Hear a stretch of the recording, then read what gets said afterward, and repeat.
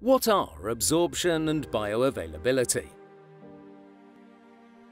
Pharma Nord has always been focused on absorption and bioavailability and how to optimize them.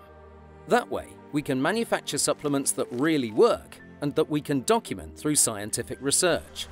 For starters, it is important to know the difference between water-soluble and lipid-soluble vitamins. Water-soluble vitamins Vitamin C belongs to the group of water-soluble vitamins. When you take a pill with vitamin C, the pill dissolves into many small fragments inside the stomach.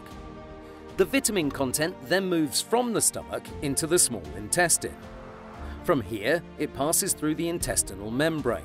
Now, the vitamin is ready to be absorbed directly in the bloodstream.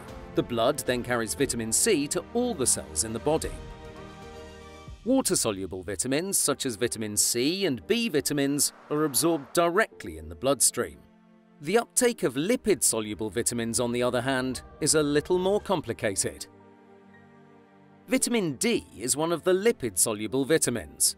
When you ingest food with vitamin D or take the vitamin in supplement form, it starts by being broken down in the stomach, just like we saw with vitamin C. However, because vitamin D is lipid-soluble, it must get inside the lipid-containing micelles that are made by means of bile salts. This is why you should always take lipid-soluble vitamins that are dissolved in the exact right quantity of oil or lipids to help the process.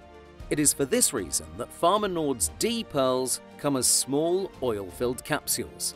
From the stomach, vitamin D is able to enter the intestine and transported via the lymphatic system. The lymphatic system carries the nutrients all the way through the body and into the blood. From here, the vitamin is taken up by the liver and passed on to the kidneys that activate the vitamin. It takes substantially longer for the body to absorb a lipid-soluble vitamin than one that is water-soluble.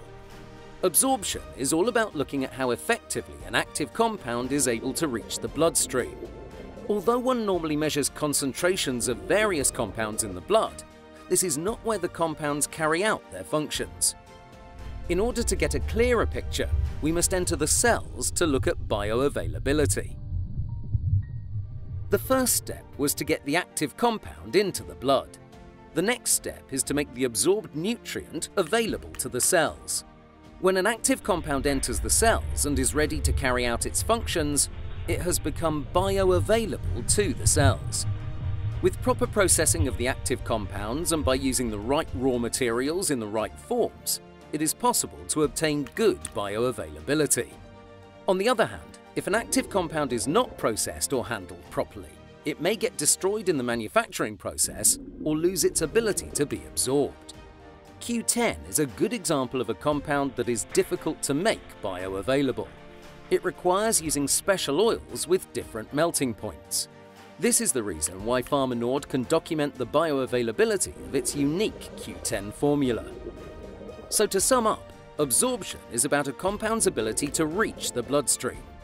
Bioavailability is about making the active compound available to the body's cells and documenting through scientific studies that it actually works.